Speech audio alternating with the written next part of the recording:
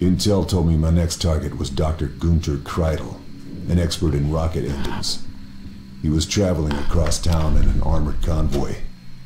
We believed he was carrying documents that would lead me to the V2 production facility, where the other three scientists were waiting. I'd identified a point on the route where I could lay a booby trap and stop the convoy.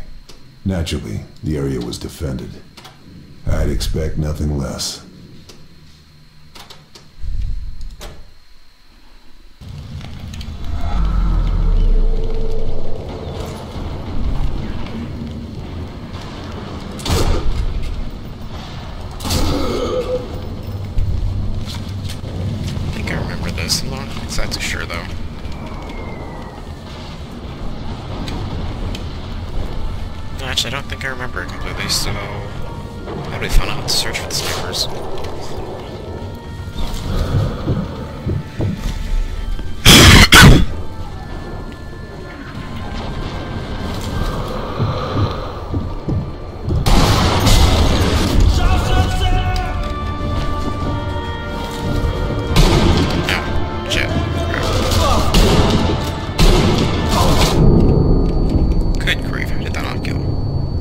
Right the shoulders.